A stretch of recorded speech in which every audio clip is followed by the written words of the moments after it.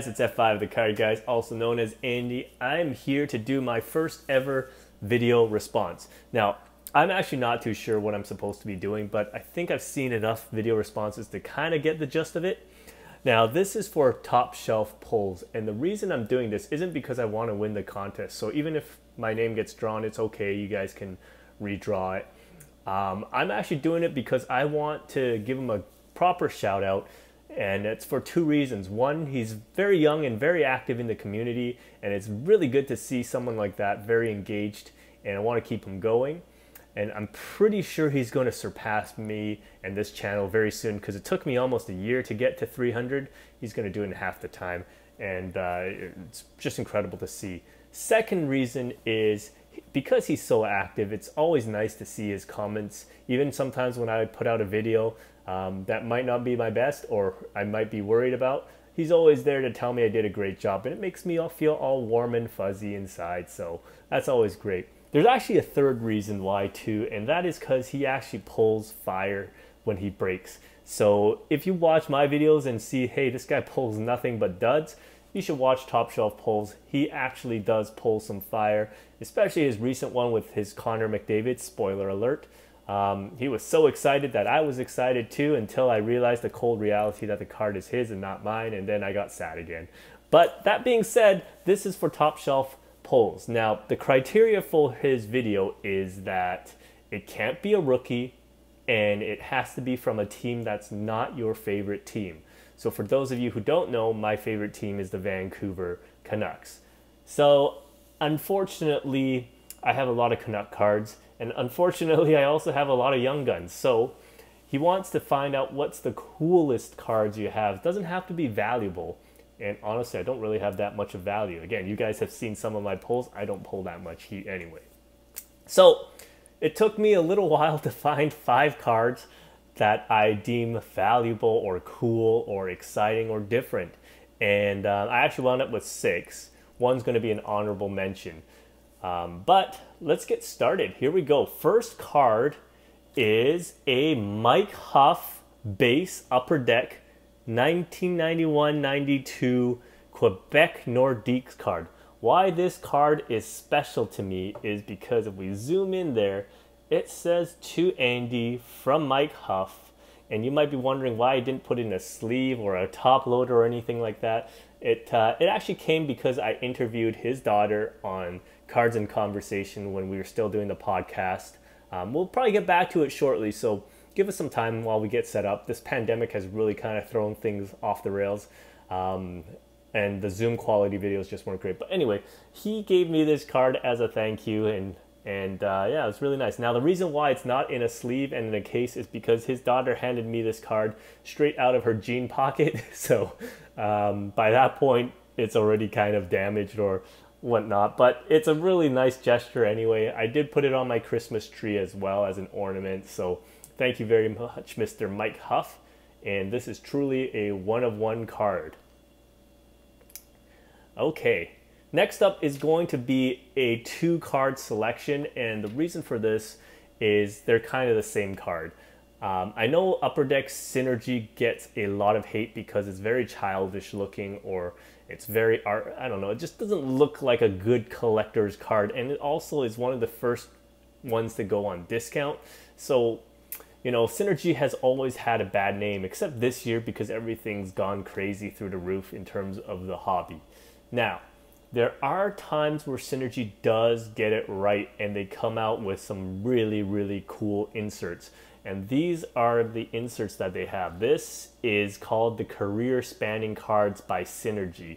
You've got a Stevie Y, Steve Yzerman, uh, career spanning card, super shiny. Um, and you've got his, not really anything else on the back except uh, the year this card was taken. So this was taken in 2005, 2006 and this part was taken in 93, 83, 84. So it shows you what he looked like when he first joined the team, no undershirt needed, and then boom, there you go. He is wearing an undershirt at this point. Uh, Mario Lemieux, same thing. He joined in 84, 85 Pittsburgh Penguins.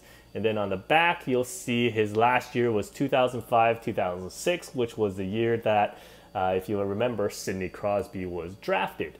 Now, this is kind of cool. If we zoom in there, look at the numbers on his shoulders. Those are iron on numbers. Those are like the numbers that I get on my beer league jerseys.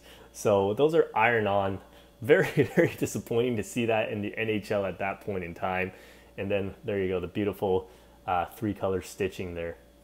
Awesome. All right, so that's that. That's technically just my second card, all right? Um, this third one, not very valuable, but really cool. This is Upper Deck Artifacts. Sorry, someone used scotch tape when they shipped it to me. You can see the, the uh, stain there, but this is from Artifacts. This is called Arm. This is a red arm of Nikita Kucherov, so hopefully he's okay and he can play after the uh, little slash to the back of his leg there against the Florida Panthers. But this is red arm. It's 30 of 99. It's probably not worth a lot, but I thought it was really, really cool and I just really had to have it. So there you go. There's the red arm Nikita Kucherov. Card number four. Um, this might be something that's worth something. I don't know. I don't really know enough about Panini Certified, but I did break some Panini Certified when this channel was very, very young. And I wound up pulling this Patrick Kane 5 of 5. Maybe Mr. Slapnuts can let me know if this is worth anything because it does have those sexy jerseys. But um, it's a number 5 of 5 of Patrick Kane. They call it the Green Emerald Parallel. Um, it's not his rookie card, obviously, but it looks pretty sweet. And there's only five of these in the world, and I'm one of the five that have it. So there you go. And then the final card that I want to show you is a basketball card, actually. This is a Dwight Howard scripted in time. It's from 2007, 2008, even though it says 2004, 2005 on the bottom. This is kind of like one of those retro throwback cards. Um, this card is important to me because when we first started going back into hobby and we started our Instagram channel and the YouTube channel, um, we joined a lot of giveaways. And uh, you know so sorry for spamming all of our stories and tagging people whatnot but we joined a lot because we didn't know what else to do and we won something. This is one of the first things we ever won. And it was amazing. I think i was super hyped for the whole night. So we got ourselves this dwight howard autograph card. Now two things about it. Dwight howard obviously you know his peak was a few years back so this card isn't worth that much but it's more of the sentimental value behind the card that uh, that really drives it home for me. The second part of it, and why this card is kind of important too, is there is a Vancouver Canucks tie to this card. He was drafted. Dwight Howard is. Dwight Howard was drafted by a man named John Weisbrod, um, who happens to be now the assistant general manager to the Vancouver Canucks. And what's funny about that is, I think it was well, one of our local media tweeted out that he's talked to other people, and nobody really knows what John Weisbrod does. And honestly, I don't really know what he does either. I just know he was in Calgary when Calgary was a disaster with Jay Feaster, and uh, they almost lost Ryan O'Reilly when they tried to go after him on offer sheet, and they could have lost him on waivers, but that turned out okay. Um, but yeah, he's been an absolute disaster when he was in Calgary, and now he's in Vancouver, and the Canucks have made the playoffs once in the last seven years. So, hmm, I don't know, man. If uh, if if he's been around and the results aren't there, just saying. Anyway, so that's the story about this card. It was a giveaway win, and somehow it still ties to the Canucks. All right, guys. So go check out Top Shelf Pullz. I put all his description in his link, or sorry, his link in the description below. Uh, he truly deserves all the subs he can get. I think he's going to get to a thousand very, very soon. I hope he does.